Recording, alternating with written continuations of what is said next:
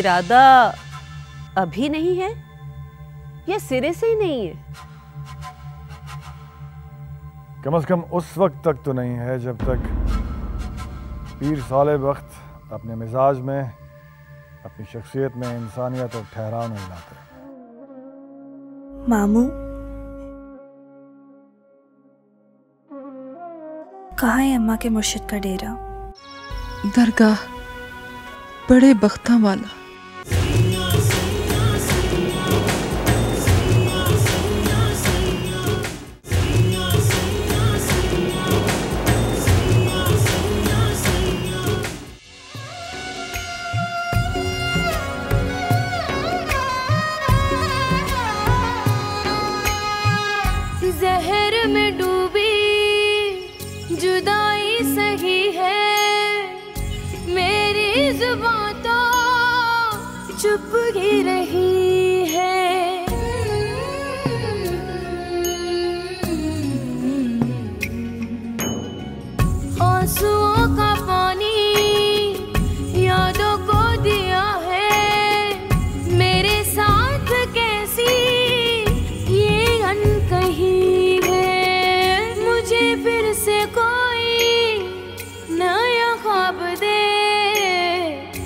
सवाल हूँ तुझ पे।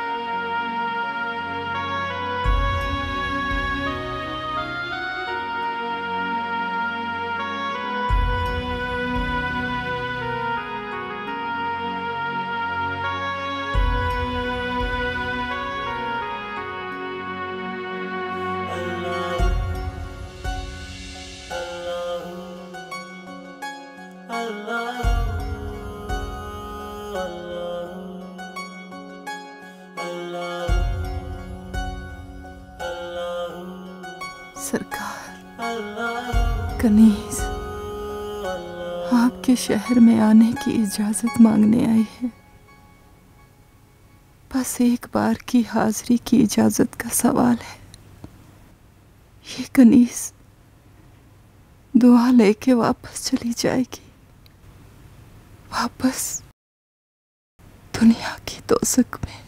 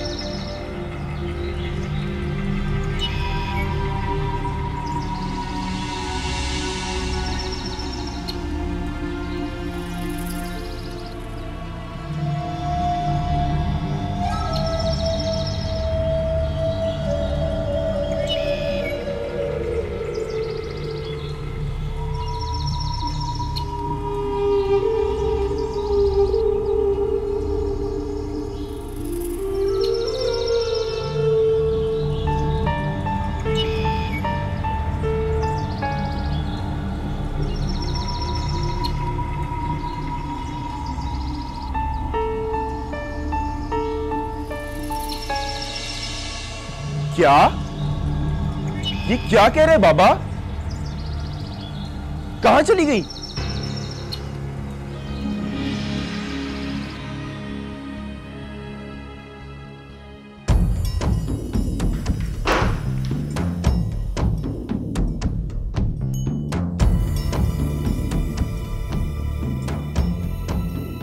अब्बा। अब्बा, तू मज़ाक कर रहा ना मेरे साथ?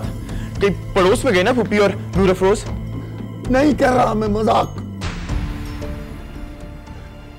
चली गई है वो। जा जा, मिठाई तकसीम कर गाँव में जाके।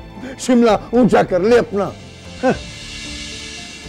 और तूने तो जिंदी खा ली थी उस गरीब की। बेटी दे दो, बेटी दे दो, बेटी दे दो। हाँ तो क्या बुरा किया? क्यों नहीं दे रही थी वो नूर अफरोज मुझे? अब्बा क्या कमी है मुझमें? हर घर में ऐसा ही होता है। कबीर पुत्र है कभी कभी ये फ़र्ज़ हो जाता है कि हक ना जताया जाए। वो वो तेरी खुदकुशी के डर से ही चली गई यहाँ से अब्बा मैं लाड कर रहा था उसके साथ। मुझे तो यही पता था सुबह तक हाँ कह देगी। अच्छा खैर तू मुझे बता किधर है मैं अभी मना के लाता हूँ। अब्बा, तू मुझे रात को बताता मैं जाने ही ना देता उसे। और रहन दे। अब वो बहुत दूर चली गई है। पीरों में पीरों में चली गई है वो। पीर? कौन से पीर? हमारे मुर्शिद। लेकिन अब्बा हम कभी किसी मुर्शद के पास नहीं गए। तू नहीं गया ना। हम तो जाया करते थे। अब पता नहीं ये पीर कहाँ से फूट पड़ा। जब उन्होंने तुझे हक ही नहीं दिया तो जताता क्यों है? मेरी बहन मेरे घर में रही है तेरे नहीं कि तेरा जवाब दे मैं। तो जब मैं हुज्जत नहीं कर रहा तो तुझे क्या हक है, है? मैं हक नहीं मोहब्बत जता रहा था। छोड़ मुझे बताओ वापस कब आएँगी?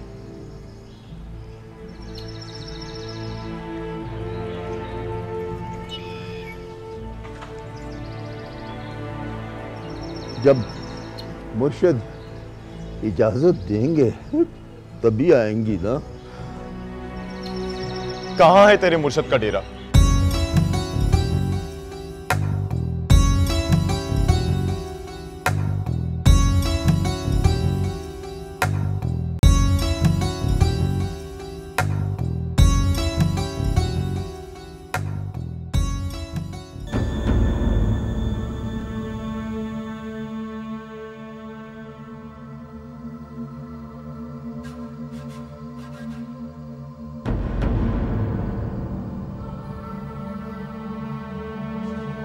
कर रही है अम्मा? बीच रास्ते में चप्पल क्यों उतार रही है? तू भी उतार जूते। क्यों? मैं क्यों उतारू? हाँ सबने तो पहनी हुई है। हमारी बात और है। उतार जूते। खाना उतार जूते।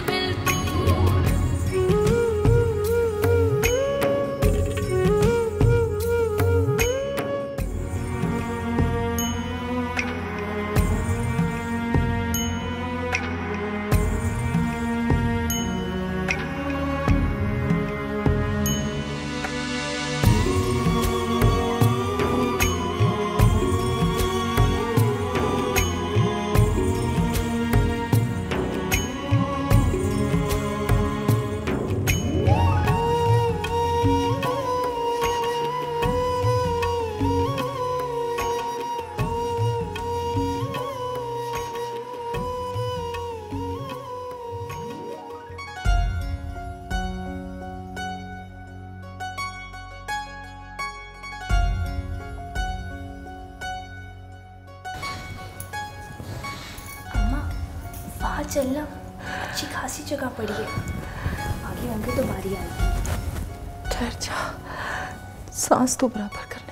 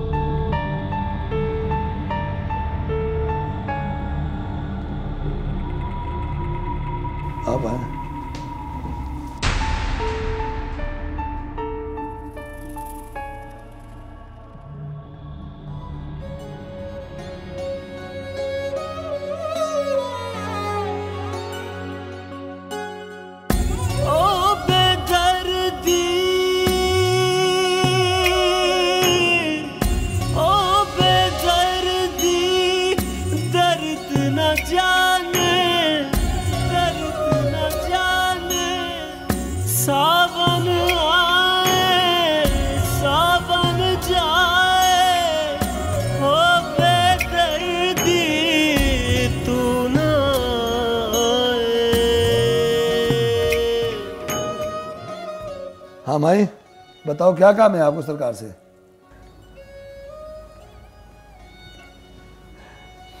दुआ करानी थी सरकार से। कहो कनीज दुआ लेने आई है सरकार से।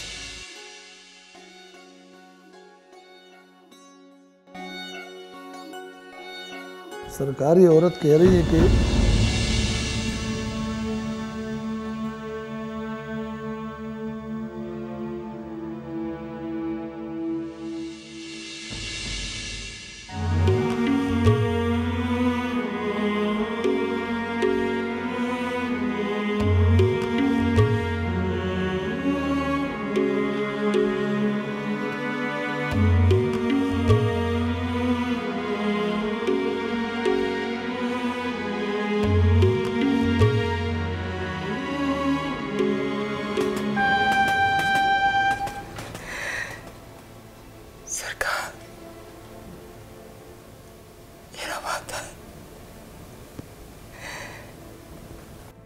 कभी आपके सामने नहीं आऊँगी कभी नहीं आऊँगी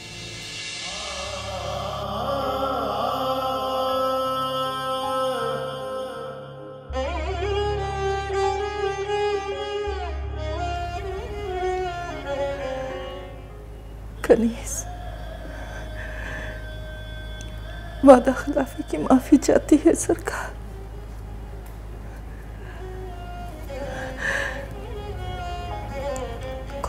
चारा नहीं था।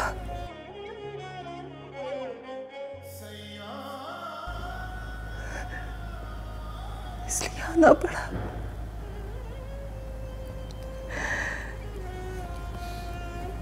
बहुत मजबूरी थी सरकार।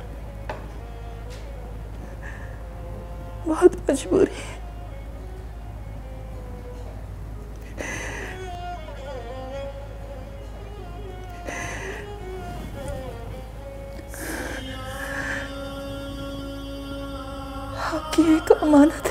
पास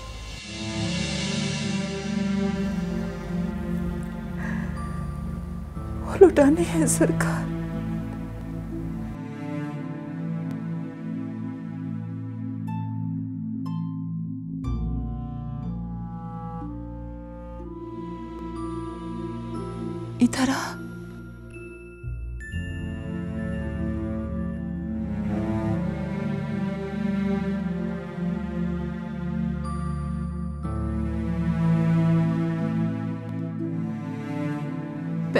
छुओ सरकार के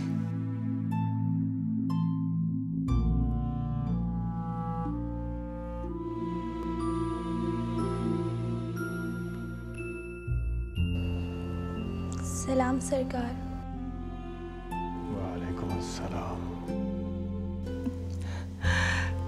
मैं कहती हूँ पैर छू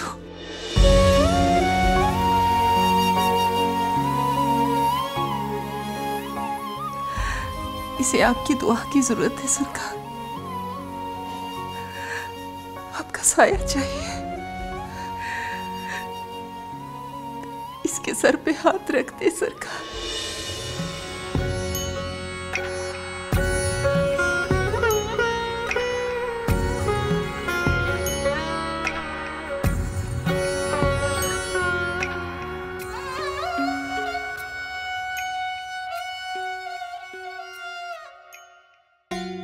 जल्दी करें बीबी अपना मुद्दा बयान करें। साथ वाले गाँव से लोग आए हुए हैं सरकार ने फैसला करना है। ये हमारे मेहमान हैं। कुछ दिन यहीं रहेंगे। इन्हें जनात खाने में ले जाओ। नहीं सरकार।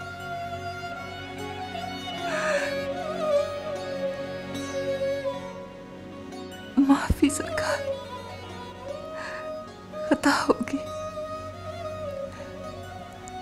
जो हुक्म सरकार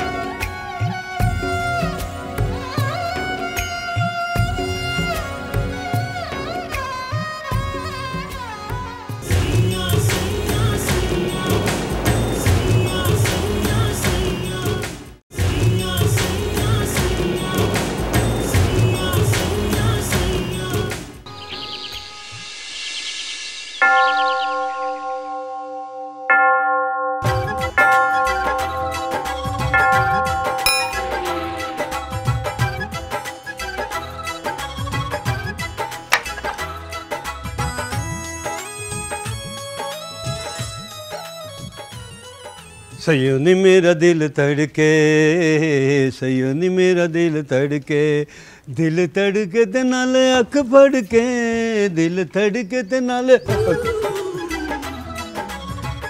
आधा वर्ष है। अस्सलाम वालेकुम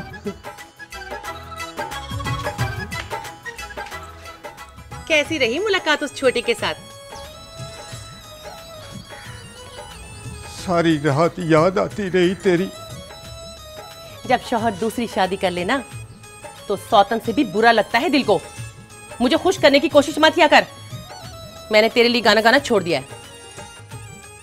ये बता क्यों आया है? वो सरकार के मेहमान आए हैं ना उन्हें बीबी मुर्शिद के पास ले जा। कहाँ है? आ जाओ भाई आ जाओ। आ जाओ।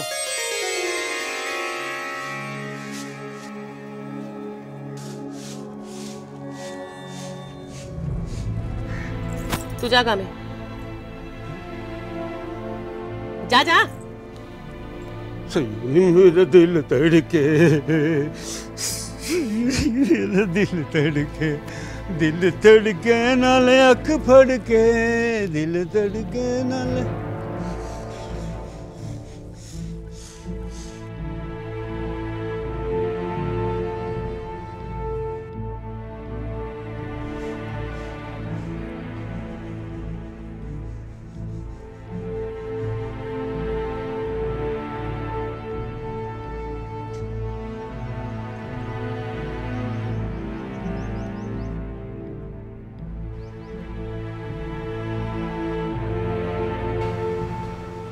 तू क्यों पलट आई है? मजबूरी थी। ये कौन है?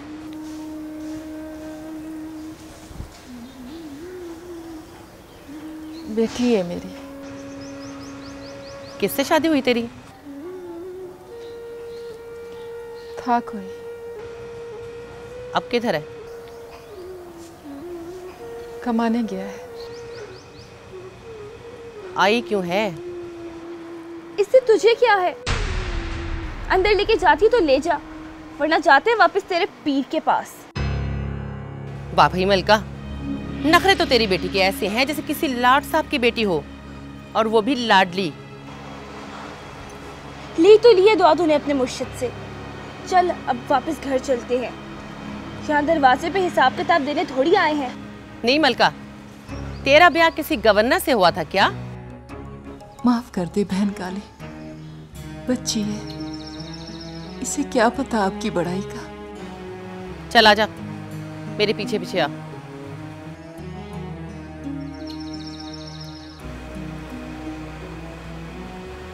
वैसे भी तेरी पुरानी वाकफियत है, लखी महल से। चला, तुझे बड़े सरकार की घरवाली के पास ले चलूँ।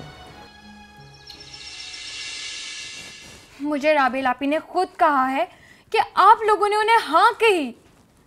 आप लोगों ने कहा है कि पीर एहराम की आते हमारी शादी की तारीखें तय हो जाएँगी। बेटा हमने ऐसा कुछ नहीं कहा है। हमने तो सिर्फ़ इतना कहा है कि हमने इस मामले पर अभी कुछ सोचा ही नहीं है। तो क्यों कहा है ऐसा? बाबा जी को उन्हें साफ़ इनकार कर देना चाहिए था। झूठा आसरा देने की क्या ज़रूरत थी?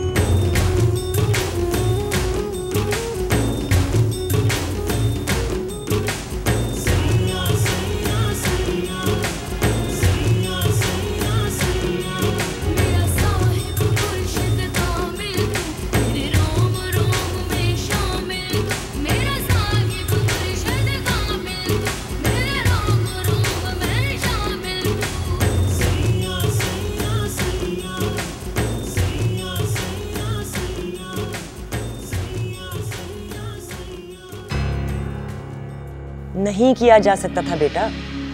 और वो लोग सिर्फ़ तुम्हारा रिश्ता लेने नहीं आए थे कि हम इनकार कर देते। वो तो तुम्हारी दादी का तय किया हुआ रिश्ता याद दिलाने आए थे। तो हमने कहा था दादी से कि हमारी मंगनी कर जाए। राबेल आपी ने भी साफ़ मना कर दिया है पीर एहराम से शादी करने से। और मेरी तरफ़ से भी मना है।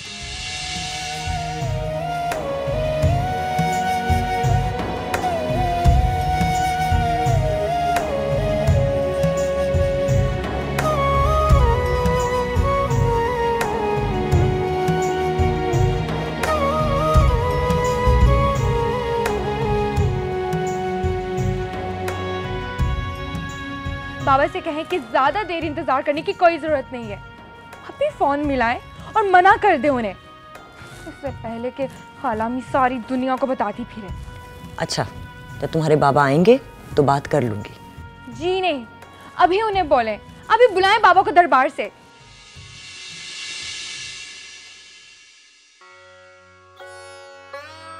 अच्छा अच्छा अभी चुप करो।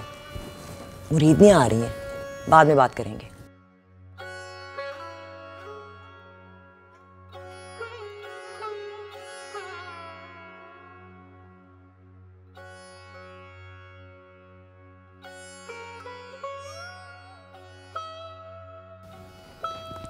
बीबी मुर्शद मुरीदनी आई है। पहले हमारे गाँव में हाफिज फजलदीन साहब होते थे ना जिन्होंने बड़े सरकार को कुरान शरीफ पढ़ाया था ये उनकी बेटी है मलका। अच्छा।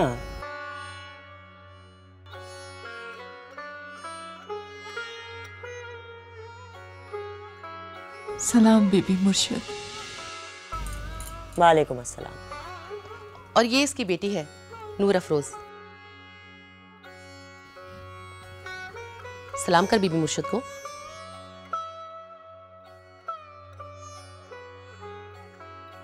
अस्सलाम वालेकुम।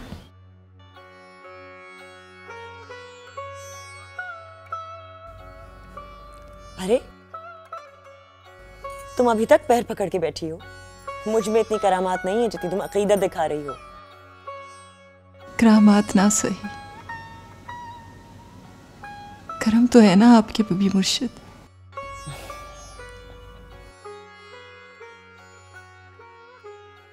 पैर छू बीबी मुर्शिद के।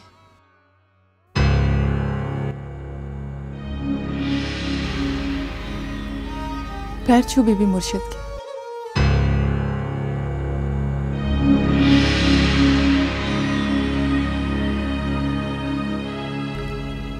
चल जल्दी कर।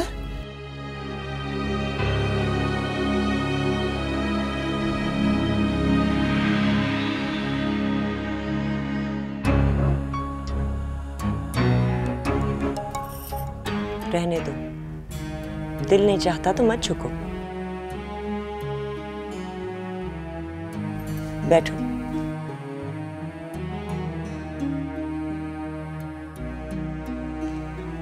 छोटी बीबी मुर्शिद से भी मिलो।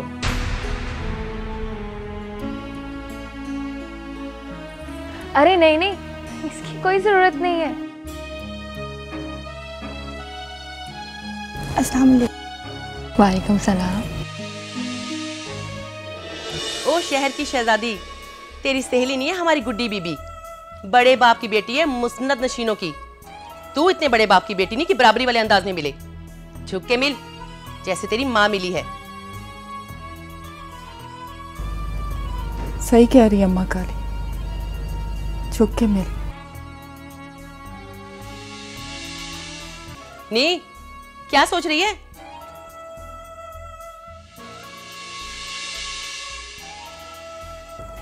नहीं नहीं इसकी कोई ज़रूरत नहीं है।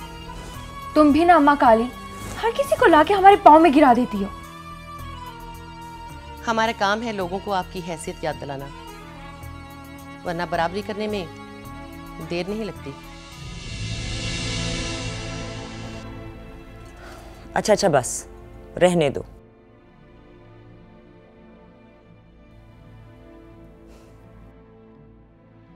सुना था, गाँव की पहली मैट्रिक पास लड़की, हाफिज फजल दीन की बेटी थी। बहुत धूम सुनी थी तुम्हारी। तुम्हारे हुस्न की तुम्हारी तालीम की।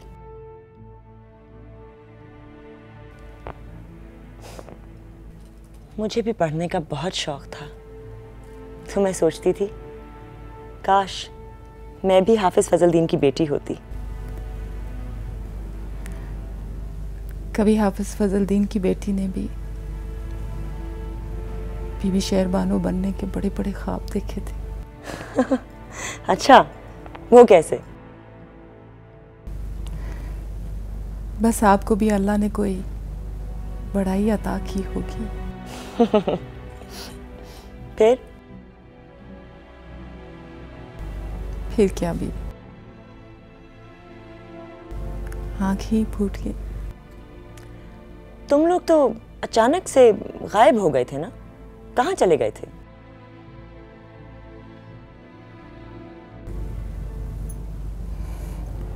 बस जाना पड़ गया बीबी अब कैसे आना हुआ? दुआ लेनी थी बड़े सरकार की। बताऊँगी। जरा सांस ले लो। बड़ी दूर से आई हूँ। हाँ हाँ। अम्मा काली मलका को मुरीद खाने ले जाओ। इनके कुछ खाने का बंदोबस्त करो। जी बीबी मुर्शिद।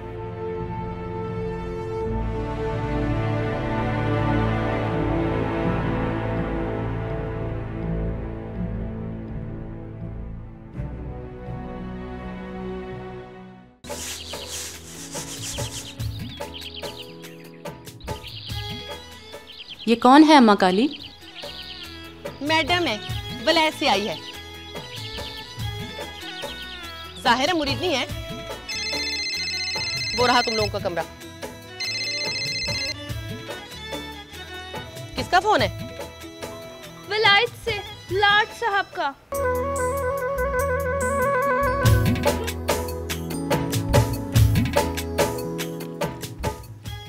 वापसी कब है तुम लोगों की? जल्दी। माफ़ कर दे बहन काली। बच्ची है। अच्छा जा।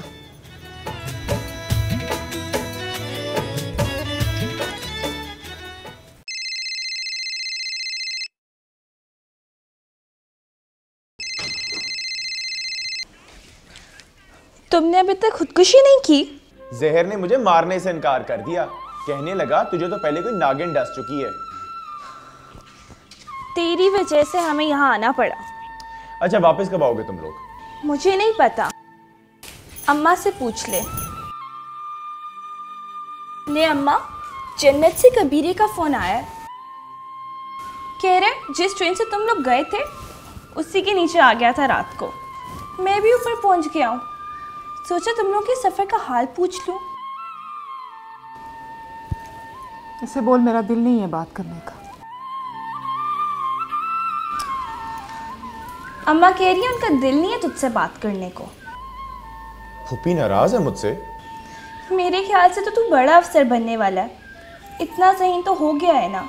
हाँ तो ऐसा क्या मांग लिया मैंने? तू तो वैसे ही मेरी है। तूने कहा तू खुदकुशी करेगा और तूने की भी नहीं। इस बात का ना बड़ा अफसोस है अम्मा को। और तुझे? मुझे तो सदमा है। अच्छा ये बता शकूब तो खैरियत से है ना? अच्छा अपने मुर्शद से मेरे लिए भी दुआ लेती आना। उससे कहना कोई ऐसा धागा दे कि तू हर वक्त कबीर कबीर करती फिरे। अब फ़ोन बंद कर। ये तेरा घर नहीं है। मैं कब कह रही हूँ कि मेरे बाप का घर है? अच्छा कबीरे अम्मा को तुझ पे बड़ी तब चढ़ी हुई है। अब कल बात करेंगे। अच्छा सुन। फुप्पी से कह आई लव यू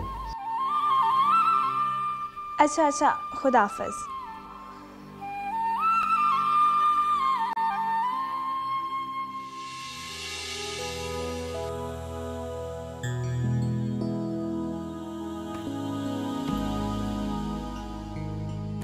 मोबाइल का इस्तेमाल कम कर यहाँ। यहाँ रहने के कुछ कायदे कानून हैं। बची नहीं रही। किसी ने तुझे इसी तरह बात करते हुए देख लिया तो कहानियाँ बनने में देर नहीं लगेगी। क्या हो गया तुझे, अम्मा?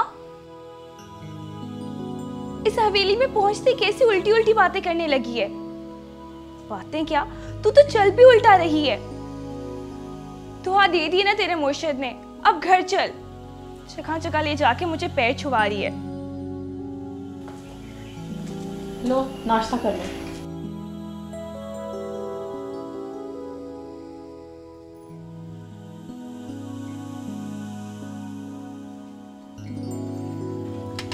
तो ये है तेरे मुर्शिद की मेहमान नवाजी। काली चाय, सूखे हुए पराठे और ये जले आलू।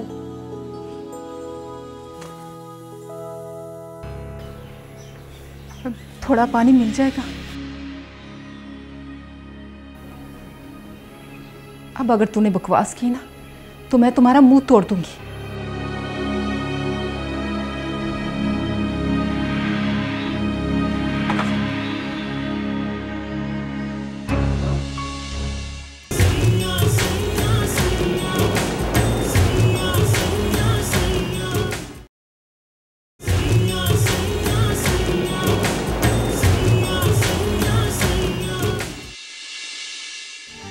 साथ उसकी बेटी आई है ना?